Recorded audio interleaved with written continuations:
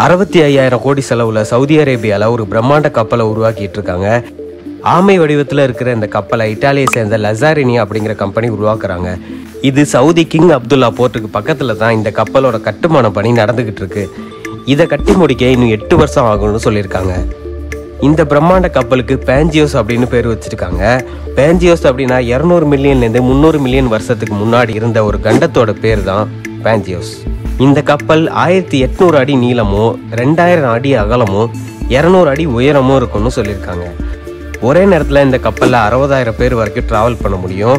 மொத்தம் ரெண்டு ரெக்கை இருக்குது ஒவ்வொரு ரெக்கையிலையும் பத்தொம்போது வில்லாவும் அறுபத்தி நாலு அப்பார்ட்மெண்ட்ஸும் இருக்கிற மாதிரி உருவாக்குறாங்க. இதுதான் உலகத்திலே ரொம்ப பெரிய மிதக்கும் நகரம் அப்படின்னு சொல்கிறாங்க இதை கட்டி முடிக்க மொத்தம் எட்டு பில்லியன் டாலர் அதாவது இந்திய மதிப்பில் அறுபத்தஞ்சாயிரம் கோடி செலவாகும். இந்த கப்பல் பயன்பாட்டுக்கு வந்தால் எப்படி இருக்கும்னு கமெண்ட்லாம் சொல்லுங்கள் இது மாதிரியான இன்ட்ரெஸ்டிங்கான வீடியோவுக்கு நம்ம சேனலை சப்ஸ்கிரைப் பண்ணுங்கள்